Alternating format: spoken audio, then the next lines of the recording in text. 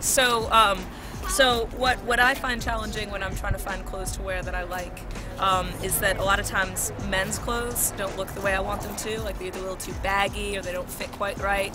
Um, but then a lot of women's clothes also don't fit right. Um, they don't look masculine enough. So usually I'm on some kind of hunt for a mix between some men's clothes that fit right and some women's clothes that fit right, and I try to sort of put them together.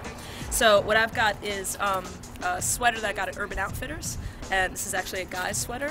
Um, and I like because it sort of has a jacket feel to it. It's, it's got a lot of nice details, like the um, the pocket lining has, has something kind of nice, and uh, in the back it's got some nice detail there too. Um, so it feels like a, a, good mix for me of um, some sort of simplicity, but with, with a twist. Um, then my shirt I actually got at uh, Banana Republic. Um, it's a women's shirt, um, and I like it because it has this uh, pattern um, that feels interesting to me, and the collar's sort of stiff and, and sticks out a little bit, which I like. Um, also, the sleeves go down a little bit, which sometimes makes me feel like it's too big, but I kind of like it too. Um, my jeans are uh, seven jeans. These are pretty old at this point.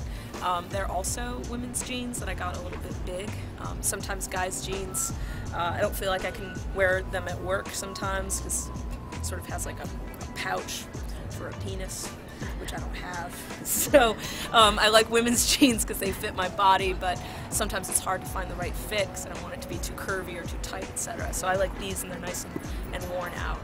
Um, and then I have uh, Frye boots on, um, which are Frye boots. They're good.